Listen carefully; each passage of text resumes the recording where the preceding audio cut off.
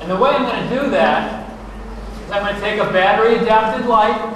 This I got at a hardware store, just a simple battery. battery adapted light light light. Okay. And now I'm using over here something called a proximity switch. આ પ્રકારની switch આપણે જોયેલી છે બરાબર And now I don't even have to touch this particular switch. This, if I break the plane,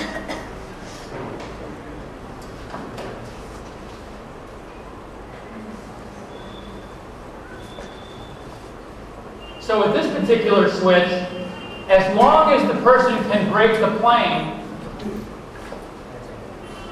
the light goes on.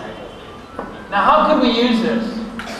We could actually have a long wire where if the child was in one room and you were in another room, the child would just simply activate the switch, and if you saw the light on, you would know that the child needed some assistance.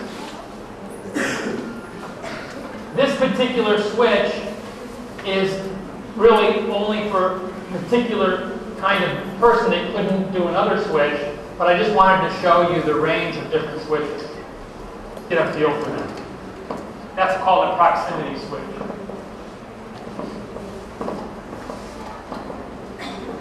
The switches can sometimes be more expensive than you might like. And I went to an electronics store and I got a switch. This is something called a tread switch that people, secretaries used to use them. They would be on the floor and they would turn something on. Or it had a very difficult, it had a very hard spring inside, so you had to have a lot of pressure to sort of. એ દબાવવાનું કામ થોડું અઘરું છે કારણ કે અત્યારની spring બહુ અ, અક્કડ હોય છે So I took the case off, took the spring out, and put some foam in there. એટલે એમને શું કર્યું કે સ્પીચમાં એને થોડું વાદળી મૂકી દીધી પોચી જેથી દબાવવામાં બાળકને બહુ તકલીફ ન પડે જેને પાસ્ટિસિટી હોય સ્પ્રિંગ કાઢીને વાદળી મૂકી દીધી So now I can do the same thing with a very inexpensive switch.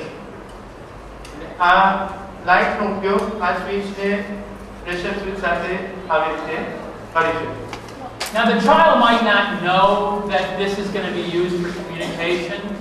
You have to introduce that. You have to teach it to a child. They're not going to get it right away, but that's part of the process. એટલે આના ઉપયોગથી આપણે બાળકને કેળવવાનું છે કમ્યુનિકેશનની પ્રોસેસમાં વાતચીતની ક્રિયા માટે બાળકને કેળવવાનું છે And I'm not suggesting that you use a light. I'm showing you a process.